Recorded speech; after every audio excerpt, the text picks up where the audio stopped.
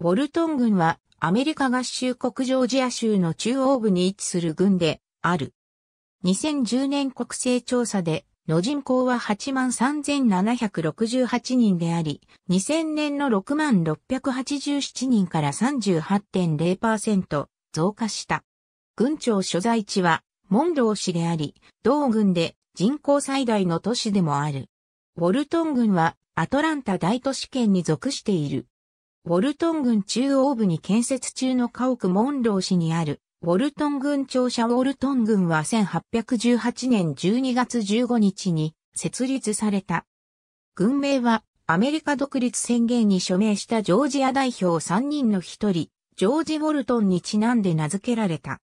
他の二人はバトングインネットとライマンホールだった。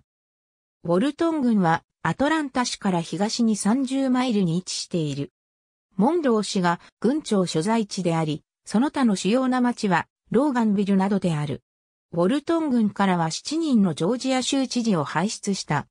すなわち、ジェームズ・ボイントン、ハウエル・コブ、アルフレッド・コルキット、ウィルソン・ランプキン、ヘンリー・マクダニエル、リチャード・ラッセル・ジュニア、クリフォード・ウォーカーである。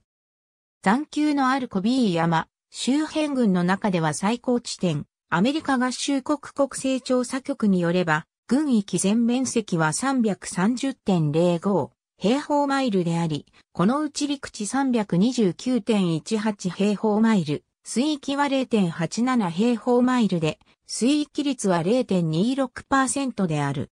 ウォルトン郡の大半は農地と森林であり、開発が忍び寄っている。週間高速道路アメリカ国道ジョージア州道以下は2010年の国勢調査による人口統計データである。ありがとうございます。